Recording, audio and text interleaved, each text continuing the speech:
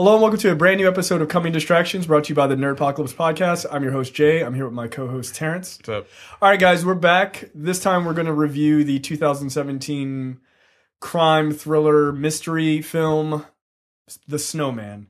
Um, this is starring Michael Fassbender, J.K. Simmons. actor? He's a great actor who makes very Okay. poor choices. Um, so this film is starring uh, Michael Fassbender, Rebecca Ferguson, uh, Val Kilmer, weirdly, and J.K. Simmons. That was fucking weird, man. This movie, okay, so Terrence and I both saw this movie.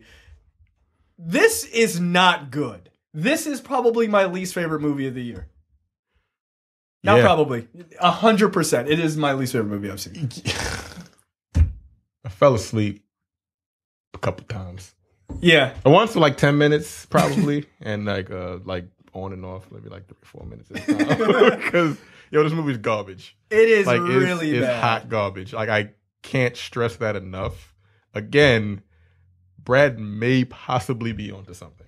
No, That- I, I look, disagree. look. Michael Fassbender is a solid actor. Is he? He makes really poor choices What's his problem? What's his casting agent's problem is the question. So Okay. let's talk about the plot of the movie, and then What we'll plot?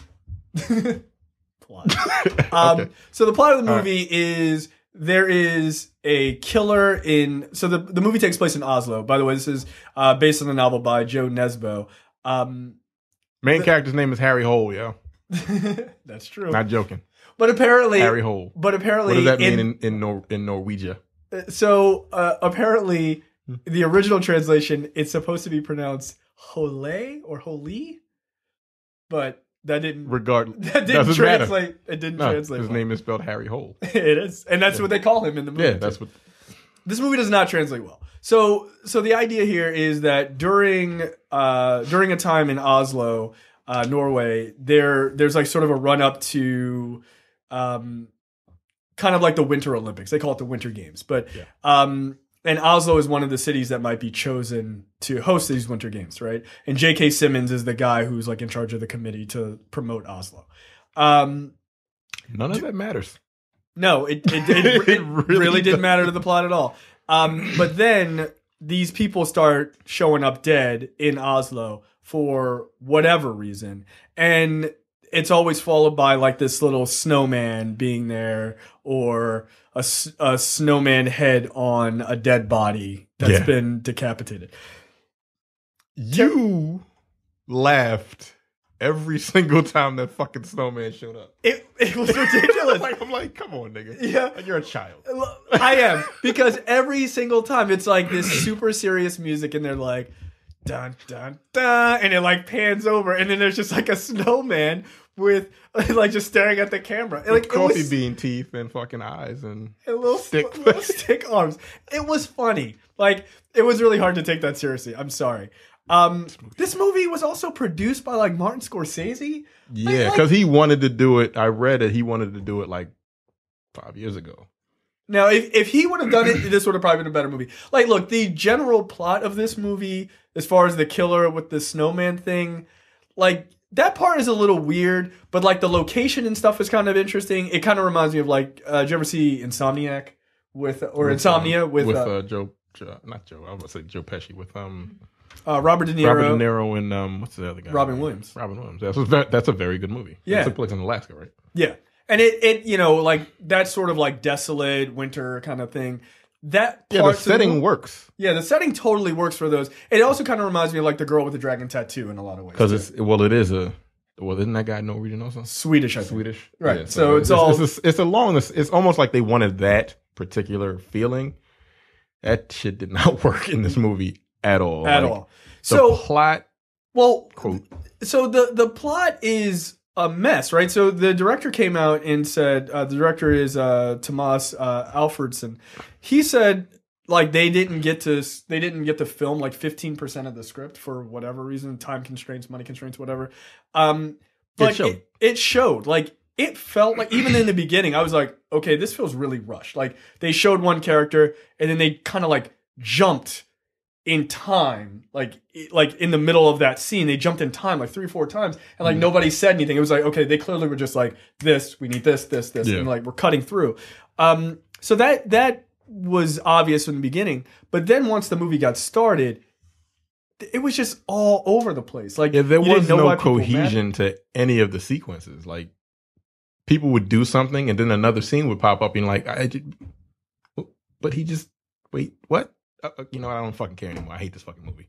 That's basically the feeling that I had through the entirety of the movie. I mean, I literally leaned over to Terrence an hour into the movie and said, "When is this movie going to get started?" Nothing happened. No, Like even when stuff happened, it didn't. right, and well, and then they did like the really terrible action shooting where, like, the final scene was supposed to be this like sort of action thing. Oh, I they- didn't know what the fuck happened.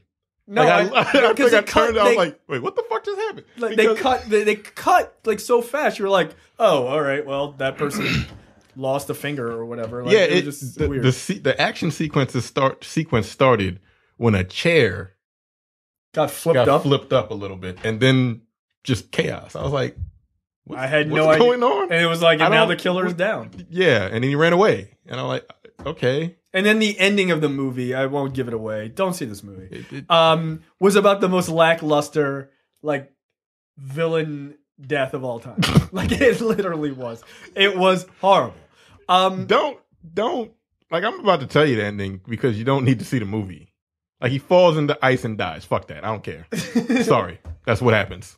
This movie sucks. Don't waste your money. what's your score for this Nothing. this is a zero out of This five sucks. Like I didn't. I was not entertained at all.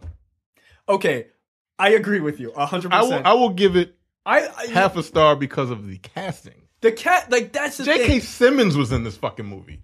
Okay, so Michael Fassbender, Rebecca Ferguson. If you don't remember that name, she was in the last Mission Impossible movie. She was very good. Mm. She's in this movie. Um, Val Kilmer's in this movie. J.K. Simmons is in this movie. Like it's a good cast. Yeah, this is a very good. Can we talk about Val Kilmer for just a second? yes, we absolutely have to.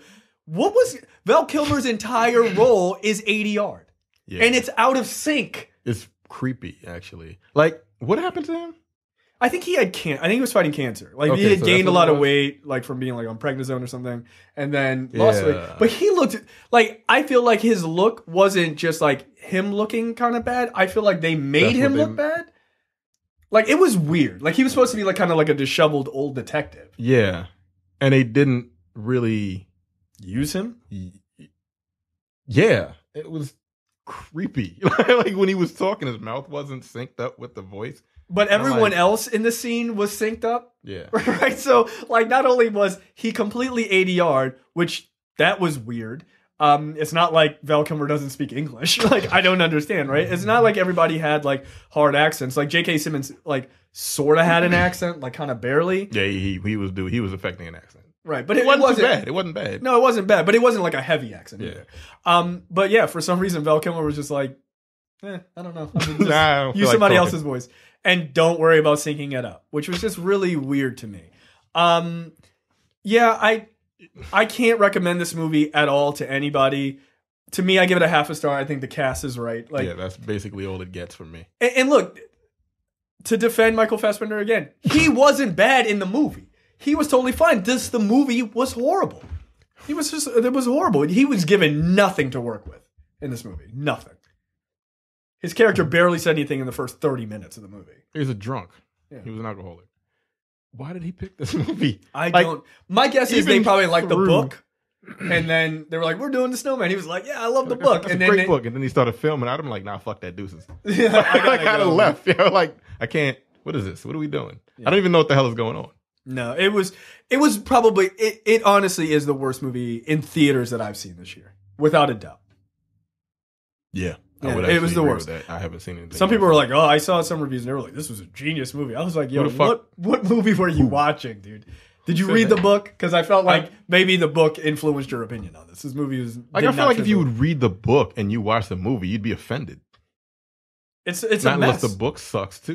like, I, I don't a- it was a top selling book, so I mean, okay.